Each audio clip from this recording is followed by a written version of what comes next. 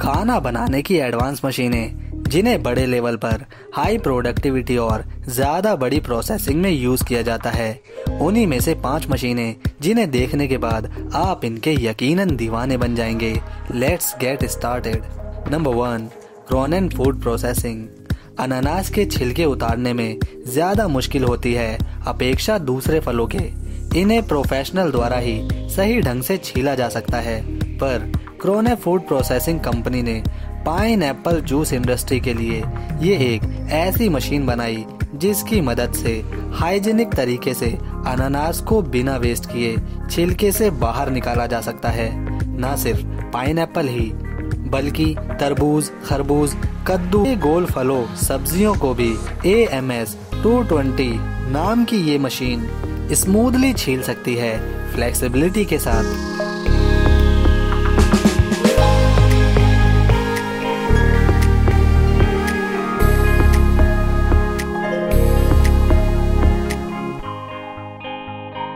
Number two Treif twister इस machine के ज़रिए मीट के टुकड़े को बारीक पीसेस में काटने के लिए इस्तेमाल में लाया जाता है, जो एक ही बार में 24 पीसेस स्लाइस करती है।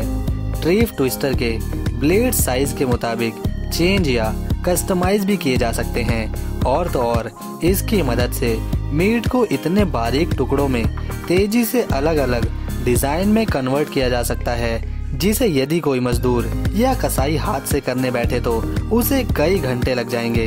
परंतु इस मशीन के होने से बिल्कुल प्रोफेशनल कटिंग मिलती है, कम से कम समय के अंदर।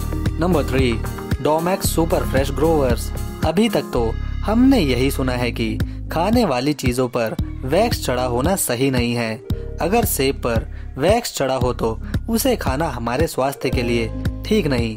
पर मेरे दोस्त, अमेरिका के क्या कहने?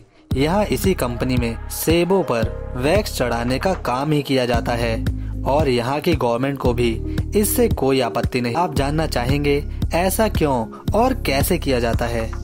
एप्पल को गार्डन से लाने के बाद सबसे पहले सभी सेबों को क्लोरीन वाले पानी से धोया जाता है, ताकि सेब अच्छी तरह से क्लीन हो जाएँ।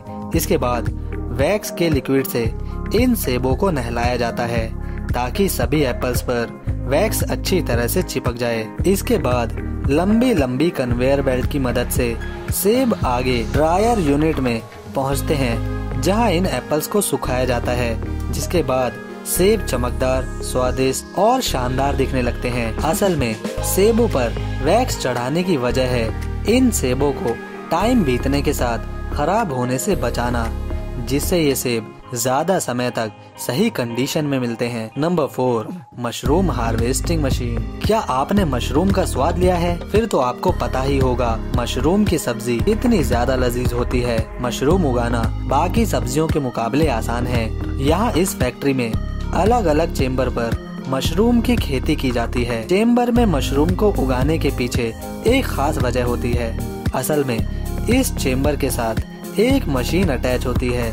जब ये मशरूम अच्छी तरह से उग जाते हैं, इसी मशीन की मदद से काटकर इन्हें अलग कर दिया जाता है। इसकी स्पीड लाजवाब होती है, जो कुछ ही मिनटों में पूरे चेम्बर के मशरूम सावधानी से काटते हुए साइड में लगी कन्वेयर बेल्ट पर गिराती चलती है। ये इतनी सावधानी से मशरूम कटिंग करती है कि पके मशरूम की जड़ को बिना नुकसान पहुँचाए ही उन्हें काटती है, ताकि मशरूम दोबारा से बढ़ सके। नंबर फाइव कोयनिक इस मशीन को बेकरी इंडस्ट्री, होटल्स, रेस्टोरेंट में यूज़ करने के लिए बनाया गया। इसमें आटे, मैदे, बेसन मिक्स करने की तकनीक के साथ साथ उन्हें गोल आकार में काटने की भी क्षमता रखी गई है। एक गोल रोलर, जिसमें गोलाकार खांचे बने होते हैं। पीछे से जब आटा इसमें आता है, तब यह उसे गोल शेप देकर बाहर कन्वेयर बेल्ट पर छोड़ देता है। ये प्रोफेक्शन के लिहाज से बिल्कुल करेक्ट है। साथ ही कम समय में ज़्यादा प्रोडक्टिविटी भी देती है। ऐसे ही और शानदार मशीनें देखने के लिए बने रहे हमारे साथ मिनी माइंड एच डी पर। सब्सक्राइब कर हमें अपना प्यार और सपोर्ट करें, ताकि हम आपको और ऐसी ही मशीनें दिखाते रहें। आज के लिए थैंक्स मिलते हैं नेक्स्ट वीडियो में।